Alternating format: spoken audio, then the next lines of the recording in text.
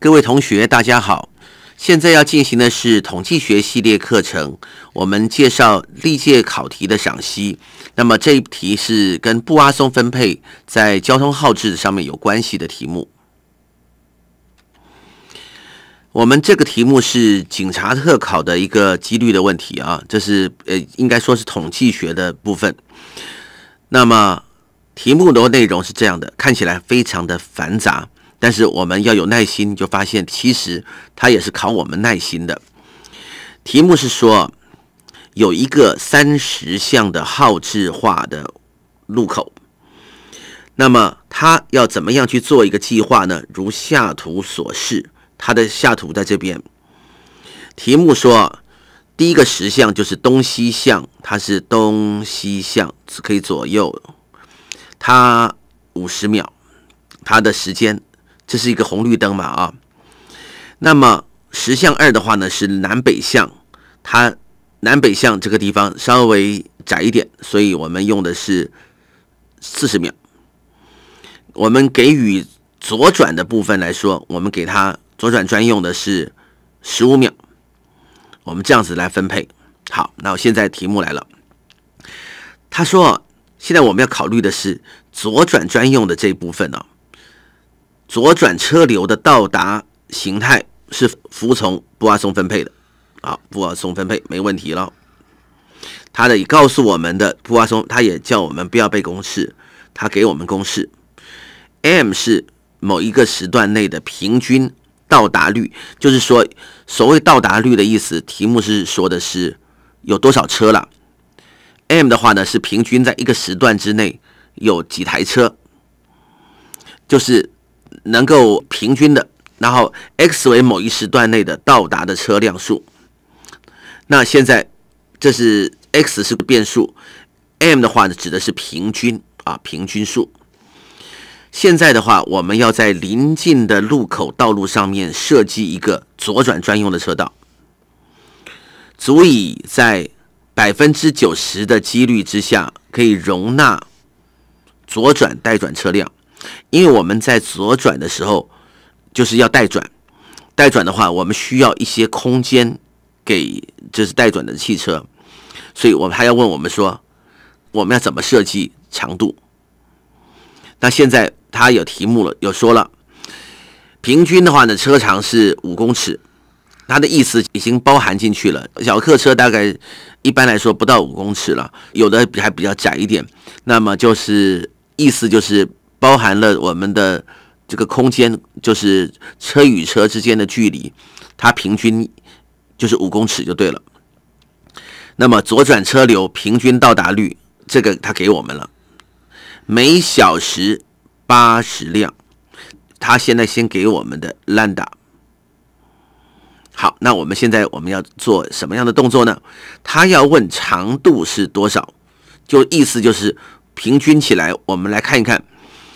我们待转的时候，大概会有几辆车会在那边待转，就是这样子的。那现在来看，我们什么情况之下会待转呢？就是左转专用的时候没有亮。现在的话是发生在哪哪些情况？发生在这个情况的话呢，有九十秒的时间，我们要是到达了路口的话，我们就准备待转了。所以有九十秒。那现在我们来看，一小时是八十辆，那九十秒有几辆呢？我们算算看，一小时是八十辆，那每秒是几辆？一小时的话是有六十分钟，一分钟有六十秒，所以这里是三千六百秒，每秒有这么多辆。然后呢？那九十秒呢？现在我们问题是在这个情况之下会带转，所以我们在九十秒的情况，那要乘上九十，也就是八十再乘上除以三千六，再乘上九十，这就是九十秒的情况有几辆呢？我们发现，哎，这个九四两辆。平均起来，我们会有两辆的小轿车在的等着这个要准备要去做带转的这个动作。那现在题目又要说了，他说什么呢？说足以在百分之九十的几率下容纳左转。他这个题目就说烂打，那我们就必须要把这个布阿松分配的那个表来，我们找出来。Lnda 值是多少呢？是二。那么几率要百分之九十的几率，那我们看一下这什么意思啊？完全没有车的几率是零点一三五三，有一台的几率是零点二七零七，两台的几率呢零点二七零七，三台的几率零点一八零四，再来四台的几率，我们来计算一下。